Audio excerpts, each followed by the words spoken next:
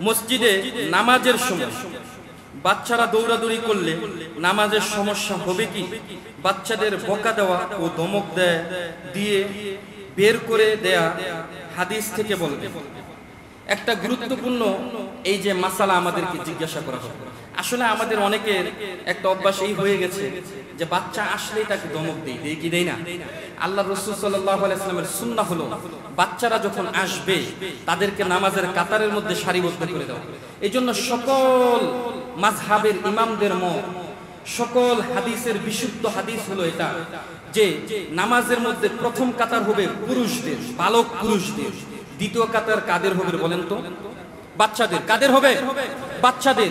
যদি দ্বিতীয় কাতার বাচ্চাদের হাদিসে না থাকতো, মাসালায় যদি না থাকতো, যদি আল্লাহ রসুলের জামানা না থাকতো, তাহলে ইমামগণ, ফকিগণ, মুফতিগণ অথবা যারা আমরা হাদিস বিশারদগণ রয়েছি, কোন মুহাদ্দিসগণ, মুফাসসিরগণ, এই হাদিস আনতেই পারতেন না যে দ্বিতীয় কাতার কাদের জন্য।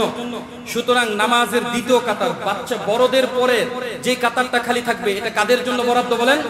বাচ্চাদের জন্য আমরা তাদেরকে শিক্ষা দিব। শালীন ভাষার মাধ্যমে আমরা তাদেরকে আদবের সাথে শিক্ষা দিব। একজন বাচ্চা দৌড়াদৌড়ি করতেছে তাকে আপনি কাছে ডাকেন। আমি অনেক বাচ্চাকে এইভাবে পরীক্ষা করে দেখেছি তাকে কাছে ডেকেছি একটা চকলেট দিয়েছি এবং বলেছি বাবা নামাজে কিন্তু দৌড়াদৌড়ি করে না। এই যে তোমার দাদু নামাজ পড়তেছে এই যে তোমার আঙ্কেল নামাজ পড়তেছে তাকে কেমন ভাবে দাঁড়ায় থাকতে দেখো তো, বলো তো? সে নিজেই দাঁড়ায় বলে এইভাবে থাকে। সে কি এদিক সেদিক তাকায়? সে বলে, না, তাকায় তাহলে তোমাকে ওইভাবে থাকতে হবে। আমি দেখেছি অনেক বাচ্চা, সে ঠিক হয়ে গেছে, সুবহানাল্লাহ বলেন।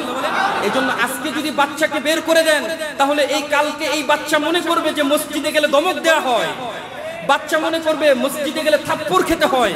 বলেন, বাচ্চা তখন আর মসজিদে যাবে না। যেখানে গেলে দমক খায়, সেখানে যায় বাচ্চারা। যেখানে গেলে মাইর খায়, সেখানে যায়। এক সময় সমাজ থেকে নামাজি বিলুপ্ত হয়ে যাবে।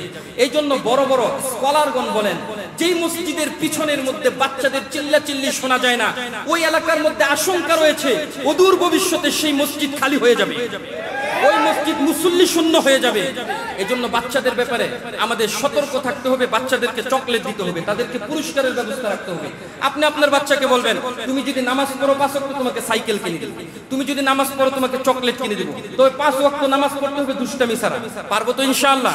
হাদিসের মধ্যে বাচ্চাদের নামাজের কথা এসেছে। এই জন্য আমরা বাচ্চাদেরকে বলব, হাদিস শরীফের মধ্যে, সহি হাদিসের মধ্যে এসেছে, আল্লাহ রসুল সাল্লাহ আলাইসাল্লাম বলেন, যখন নাকি বাচ্চাদের দশ বছর হয়ে যাবে, কয় বছর?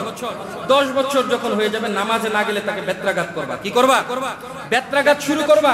এই জন্য বলেন, দশ বছরের বাচ্চা, তাকে বেত্রাঘাত করতে হলে যদি আল্লাহ রসুল হাদিসের মধ্যে বলে, তাহলে তাকে নামাজ পড়াতে হবে কি হবে না? নামাজ শিক্ষা দেওয়া আমাদেরই দায়িত্ব। আল্লাহ তালা তৌফিক দান করুন